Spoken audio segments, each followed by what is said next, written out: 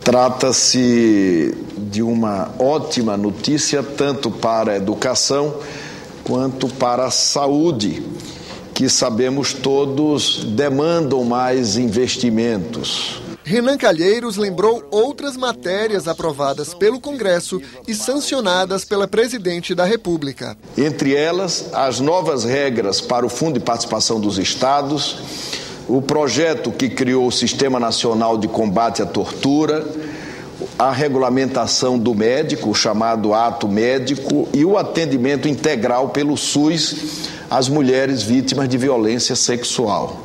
A transparência nos direitos autorais, a responsabilização de pessoas jurídicas que oferir vantagens em corrupção, a Defensoria Pública e agora, na próxima segunda-feira, como avisei anteriormente, a distribuição dos royalties do petróleo. O presidente também fez um balanço das matérias aprovadas pelo Senado no último mês, mais de 40 proposições. O fim do voto secreto e outras matérias que ainda aguardam deliberação por parte dos senhores deputados.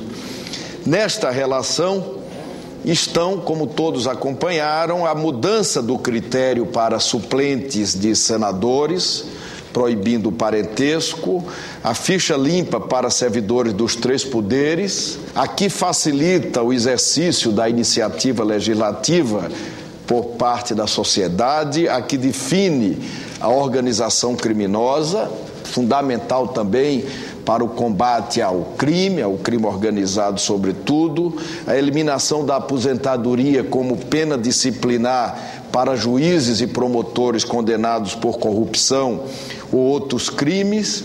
Ele cobrou da Câmara dos Deputados a aprovação de temas já votados pelo Senado, como as novas regras para a tramitação de medidas provisórias. Que se altere, é evidente aprimore, até mesmo rejeite, se for o caso, mas que o Congresso Nacional dê a palavra final para temas candentes e cujas votações podem ser consideradas históricas para o parlamento brasileiro.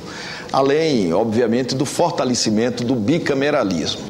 O presidente disse ainda que o Senado vota este mês a proposta de emenda à Constituição que acaba com o voto secreto. Mas ainda há divergência se a nova regra vai valer para vetos presidenciais e indicação de autoridades. Quando cheguei aqui, pensava muito nessas duas circunstâncias, que são realmente complexas.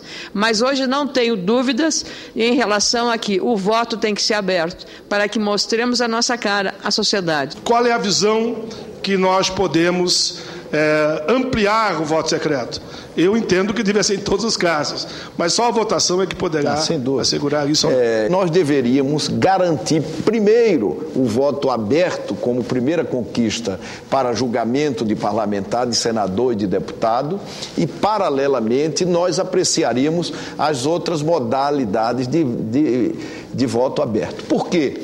Porque se nós tivermos, com relação a qualquer um dos itens, dificuldades para colocarmos 49 votos, a matéria será inócua e voltará sem eficácia, sem resultado, para tramitar na Câmara dos Deputados. Nós primeiros garantimos o concreto, a parte, e discutiremos o todo, para não corrermos o risco de, em nome do todo, perdermos a parte.